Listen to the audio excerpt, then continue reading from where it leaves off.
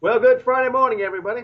Hope you're enjoying the piles of snow and all the precipitation we've gotten this week, Al. You know, I think we're all fed up with this weather, and uh, we're really counting on you to come through for us and tell us it's going to be a nice weekend. Well, Phil, it is going to be a nice weekend, but we have two more episodes to deal with of winter weather. Winter's not over yet, Phil.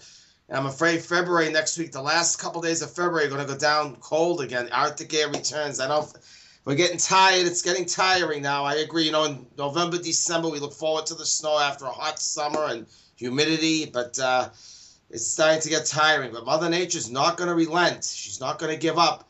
Uh, we are looking at a major storm possible next Wednesday, so I want you all to tune into Phil and I Monday morning. The data from the gen the gen energy from that for the upper levels is still in the Arctic. I mean, we have very uh, limited data up there, sparse data, so we won't really know. Hopefully Monday morning we'll have an idea. It would be Wednesday, and I'm leaning more towards snow for a good part of New England. We'll see about the South Coast and Cape, but that's not definite.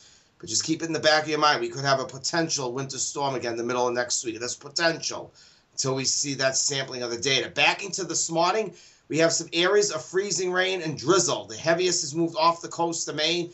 Uh, the National Weather Service in Taunton does still have a freezing rain advisory for Hillsborough County until 10 a.m. this morning.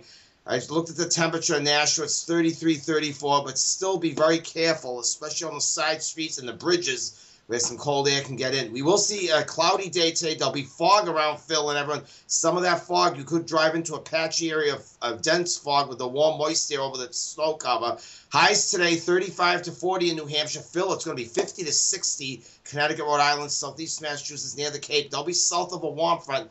That warm front could stall around Interstate 495. If it does, we'll only stay 35 to 40 in New Hampshire. If the warm front gets up close to Manchester, we could be in the mid 40s south of Manchester. But we'll see about that. The warm front may stay to our south. Tonight, we will see clearing. There will be some downpours, even a rumble of thunder this afternoon. Clearing tonight. Temperatures tonight will be in the 20s, and there'll be some icy spots. Tomorrow, we will have a mostly sunny day, 40s. Sunday, mixed sun and clouds around 40. Now, another cold front's going to come through Sunday.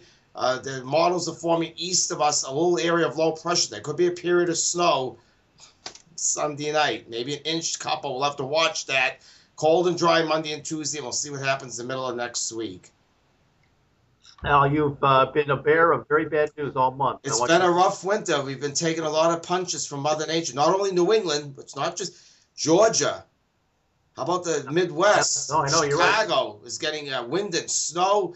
Uh, they had another uh, winter storm in the Midwest uh, yesterday and last night. It's much of the uh, actually, we take the middle part of the country east, so Georgia and New Orleans up to New England, the Midwest. It's been we've been taking punches and hits from Mother Nature, and I don't see any relentless. We're going to get a break this weekend, but the Arctic air comes back early next week, and for probably a good part of next week, Phil. Okay, uh, well, we know it eventually will be June, right? It's got to be. It's eventually, we're going to go right into the heat. We usually it's tough with the ocean here. It's, you know, the ocean's in the middle 30s, even uh, uh, south of the Cape, uh, near Nantucket Sound side of the Cape. So the ocean has gotten very cold. It's going to take a while for that to warm up. So I know the places like Cape Cod, they usually go right from winter to summer because there's no in between with that cold ocean. So we're going to have some chilly times along the coast this spring. Okay, Al, you have yourself a great weekend. Check in with you on Monday to find out about the storm. On Wednesday. Have a great weekend, Phil, and everyone enjoy it.